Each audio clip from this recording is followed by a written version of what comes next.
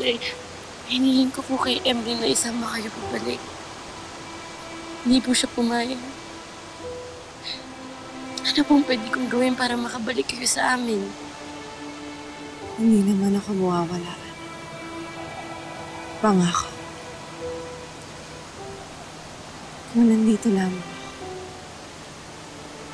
hindi ako mawawala sa'yo. Ngunit may kailangan kong gawin na lang.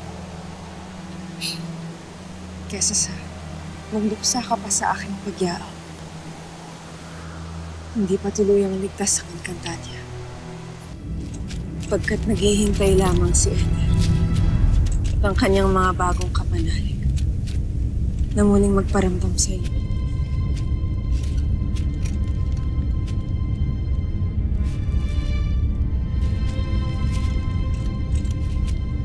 Tama kaya itong pinuntahan natin? Dito tayo pinapunta ni Bathalang Arte.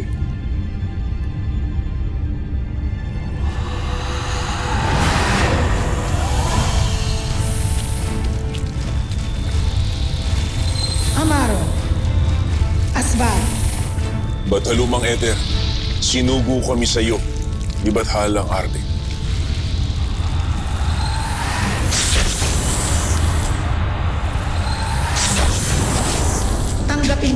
Niyo ang sa ganon kagaya ni Lila Sari ay maging handa rin kayo sa takdang panahon.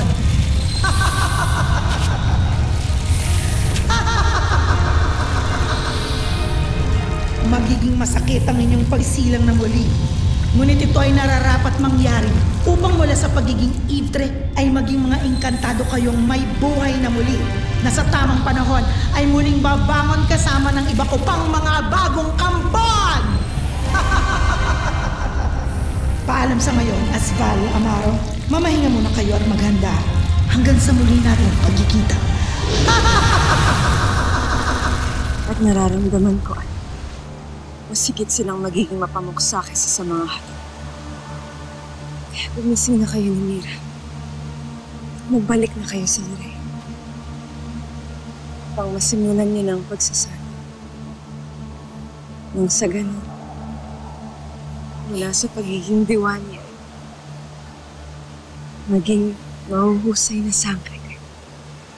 At gaya ng inyong mga Ashley, na ipagtatanggol niyo at ipapangalagaan niyo ang Liray at ang Encantadia sa mga kaaway. Pero inay, Naasa akong hindi mo ako susuwayin. Nang sa ganun, maging isa kang sangre na may pagmamalaki ko.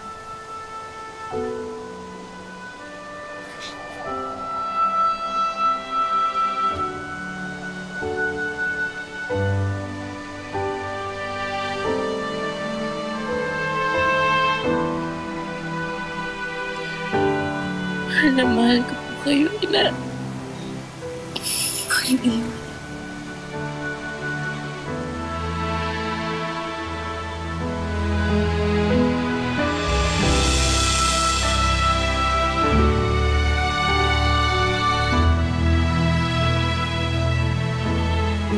gumising ka na. Pagkat naghihintay si Mira, bumalik na kayo sa loob. Nay,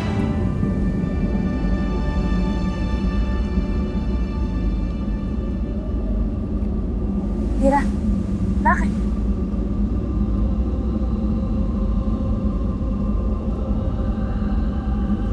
nakita ko siya, Mira. Nakausap ko si inay. Pakinggan mo ang bilin sa iyo ni Ami, Mira. Pagkat ang mga sinabi niya ay totoo at magkakatotoo, kaya ngayon din ay bumalik na kayo sa Lirayo at maghanda sa katuparan ng mga salitang binitiwan sa iyo ng iyong ina. Opo, mahal na Emily. Inay, susunod po ako. Bakit, Mira? Ano bang sinabi ni Inang ngayon? Mira, bakit kailangan niyo maganda? Ano ba yung paghahandaan?